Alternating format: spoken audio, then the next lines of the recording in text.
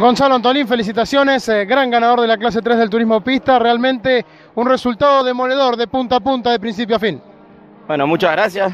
Sí, la verdad que increíble fin de semana el que tuvimos eh, ayer en la clasificación. Eh, pudimos lograr un auto muy contundente, muy rápido, cómodo y bueno, hoy sabía que Lucas tenía para poder, para poder pelear por la carrera, creo que tuvo un inconveniente en la caja, lo que no, no le permitió por ahí pelearme un poco más, pero bueno, logramos hacer una buena, una buena diferencia y mantenerla hasta el final.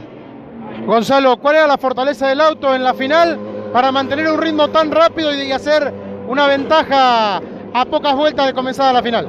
No, creo que éramos rápidos en todos lados. Eh, realmente logramos un auto muy bueno, un auto rápido en lo rápido y rápido en lo lento. Creo que eh, tenemos un equilibrio enorme en el auto. Después del accidente pudimos, pudimos optimizar, optimizarlo aún más que antes y bueno, nada, eh, realmente el trabajo de, de, los chicos del taller eh, que, que, laburan incansablemente para que, para que no se rompa nada, que no se caiga un tornillo, eh, fue el, lo que nos posibilitó hoy poder, poder ganar.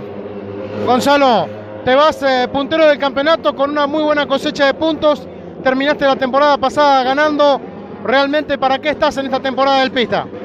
Bueno, sí, la verdad que el triunfo de la temporada pasada nos dio un poquito de aire y tranquilidad y bueno, nada, realmente un orgullo enorme lograr estos resultados a nivel nacional en esta categoría tan linda que, que bueno, siempre está preocupado por nosotros, eh, nos han tratado muy bien desde que, desde que llegamos acá y bueno, eh, creo que es un orgullo poder, poder estar, poder estar los dos.